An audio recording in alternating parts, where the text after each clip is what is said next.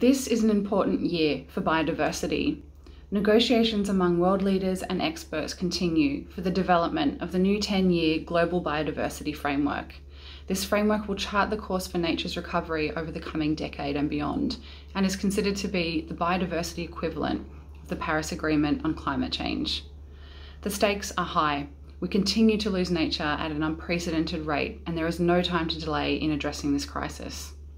The good news is that the first draft of the Global Biodiversity Framework is improved, but there are still areas for strengthening. IIED has published a three part series of negotiator guides. These guides are designed to support negotiators to strengthen key aspects of the framework by providing evidence and research. For example, to embed equity into the framework, to enhance human development considerations, and to ensure the foundations of the framework are strong through robust enabling conditions and resource mobilisation and funding efforts.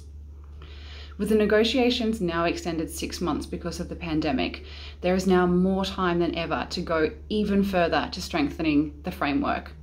We call on all negotiators to keep the momentum up so that the framework can deliver outcomes for climate, nature, and people over the coming decade.